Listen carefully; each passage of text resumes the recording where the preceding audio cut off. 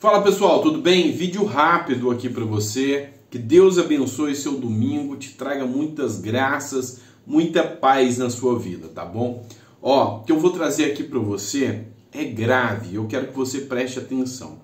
Você que é aposentado, você que é BPC, você que é servidor público, presta atenção na informação que eu vou trazer para você e é sobre o cartão consignado, tá? Então presta muita atenção. Tem gente aí que está caindo no conto do vigário. Muitas pessoas estão mandando mensagens sobre o cartão consignado e, sabe, estão vendendo gato por lebre. A Roseli Elba, e eu tô olhando aqui os comentários, tá? Para quem fala que eu não olho, tô vendo aqui, tá? E sempre que você puder, deixa os seus comentários que eu vou estar tá respondendo. E isso aqui serve de base para a gente fazer os nossos vídeos, os nossos conteúdos na luta aqui na defesa por você.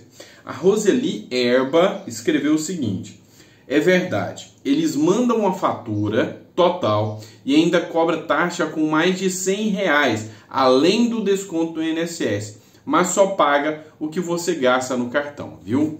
Ela está falando sobre o cartão consignado. O que está acontecendo com o cartão consignado? Duas situações, tanto o cartão consignado quanto o cartão benefício. O cartão benefício, quando você vai contratar, eles mentem para você, olha, isso aqui é igual ao consignado. São parcelas fixas de até 84 parcelas, onde você tem as parcelas fixas e vai descontando um pouquinho, mas você vai quitar o contrato. É mentira. É mentira. Depois que você faz o cartão consignado, e eu venho alertando há tempos para vocês para tomarem cuidado, depois que você faz o cartão consignado, no outro dia eles te mandam uma fatura cobrando tudo do empréstimo, tá? E detalhe, eles descontam o mínimo e aquele restante, ele gera um juro sobre aquele rotativo todo. Isso é uma dívida que você não vai conseguir sair tão cedo. E o pior de tudo é um cartão. O cartão nunca chega para vocês.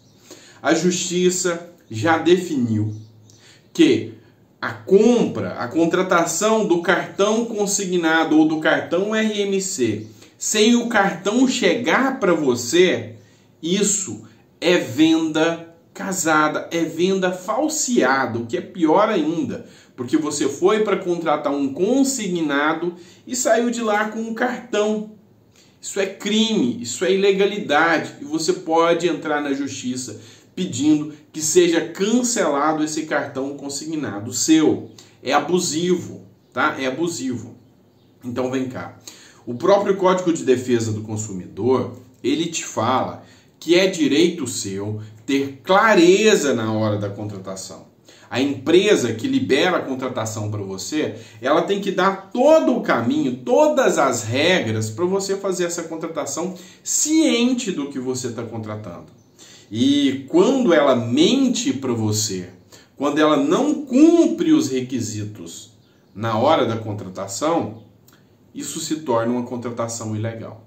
Então o que, que você pode fazer? Você pode entrar na justiça e falar para o juiz o seguinte: olha, eu queria contratar um consignado com parcelas fixas. Mentiram para mim e eu nunca sequer recebi o tal do cartão consignado. Ou seja, desvirtuaram, modificaram a compra. Nisso, você consegue reduzir a sua parcela, a sua, a sua taxa de juros, de 3,60, que é a taxa de juros do cartão, derrubando ela para a taxa de juros média aplicada no consignado, que vão pôr aí 1,80, 2%, mas cai de 3,60 para 1,80, 2%. E servidor público tem banco que ele consegue taxa até mais barata no consignado, tá? Servidor, a depender da, da, do banco que você usa, você consegue taxa até mais barata. Então, se você fez esse tal do cartão consignado, tem gente aí falando que já tem três meses, os descontos já estão vindo, mas nunca viu cartão na vida. Nunca nem chegou perto dele qualquer cartão de crédito. Então, você está sendo vítima de uma fraude, de uma ilegalidade. Nós estamos criando alguns mecanismos, nós estamos terminando de criar uma associação e essa associação vai lutar contra todos esses mandos e desmandos, tá? dos bancos contra os aposentados. O Congresso é omisso, omisso. Me desculpe, as instituições que a gente vê aí na praça, todas elas não estão nem aí, pelo contrário, estão apoiando o cartão benefício. A gente não pode aceitar que seja assim. Então a gente realmente tem que ter força e base para defender o aposentado. Então, nós vamos sim montar uma associação onde nós vamos dar o corpo jurídico para dar entrada nessas demandas. É como eu disse, nós vamos escolher a dedo os advogados que vão estar conosco, tá? Eu acredito que antes do final do ano essa associação vai estar pronta. Nós vamos escolher a dedo os, é, os advogados que vão estar conosco. Eu vou tomar conta da parte de processos coletivos. Então, por exemplo, eu quero bater de frente é com o banco mesmo. Eu quero entrar com ação coletiva para que todos que forem associados consigam se livrar desse cartão consignado. Que o banco preste esclarecimentos e, se precisa, entrar até com ação de inconstitucionalidade contra esse cartão, transformando ele em consignado convencional porque foi mentira, foi falseado, nós vamos fazer. E olha só, com uma associação a gente consegue mais força. Sabe a ação do PDT que está tramitando? Pois é, a gente poderia ter entrado com uma ação demonstrando para o juiz que o cartão, que aquela forma de aumento de juros foi ilegal. E que o correto era ele ter fornecido mais margem de consignado e não cartão. Então, uma associação de âmbito nacional tem poderes para isso. Eu, como advogado, apesar dos meus conhecimentos dentro de Brasília, apesar de eu estar ali dentro de Brasília, conhecer a todos, ter acesso, eu não tenho poder para isso. A gente tem uma coisa que se chama legitimidade, tá? Legitimidade ativa ou passiva, ou seja, é a competência para poder dar entrada num processo.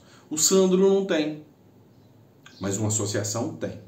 Então a gente já começa aqui estabelecendo preceitos e estabelecendo regras para a gente ganhar força através de uma associação. E aquele que for associado vai estar tá lutando com a gente para a gente ganhar força cada vez mais nessas pautas aqui, é, como a da unificação do cartão, como a de se livrar do cartão consignado, como a se livrar de juros abusivos, do empréstimo pessoal. Tudo isso a gente vai estar preparando, vai estar deixando tudo organizado. Como, por exemplo, exigir da Caixa Econômica que ela devolva as cotas do PIS-PASEP. Quantos de vocês não foram lá na Caixa Econômica sabendo que trabalharam de 71 a 74, tem os fundos do PIS-PASEP para receber e chega lá na hora, o cara da Caixa fala: "Não, não tem nada aqui". Uma associação pode ir lá e exigir os extratos, tá? Com todos os, o, os relatórios, com todos os nomes que tem direito entendeu? Dos seus associados. Então, com o poder, com a procuração dos seus associados, ele vai lá e fala: Eu quero um extrato. E se a Caixa mentir, fazer até uma notícia crime contra o responsável. Esses são poderes que nós não temos. Os parlamentares têm, mas não estão nem aí para vocês. As instituições que já existem têm, mas não estão preocupadas com vocês. Então, se você apoia essa nossa bandeira aí, vamos começar a pensar essa bandeira de uma associação forte, robusta, que tenha poder para lutar pelos aposentados e pensionistas. Quem está comigo, coloca aí. Eu apoio a associação. Tá bom? Um grande beijo e até a próxima.